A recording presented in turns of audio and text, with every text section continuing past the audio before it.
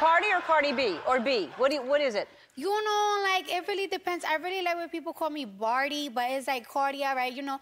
Because, you know, people in the hood call me Bacardi. Mm-hmm. but, you know, on Instagram, my, my, my Instagram used to get deleted a lot because, you know, Bacardi, oh, trademark Bacardi. Sure. Illegal. Yeah, right. Yeah. So it's changed to Cardi. Yeah, I prefer All right. her. So I'll call you Cardi. Yeah. But do I add the B? Do I do Cardi B or just Cardi? I want to act like I know you. Like You know, my friends just call me Cardi. Cardi. All right, I'll call you Cardi. All right, Yeah. Cardi. Um,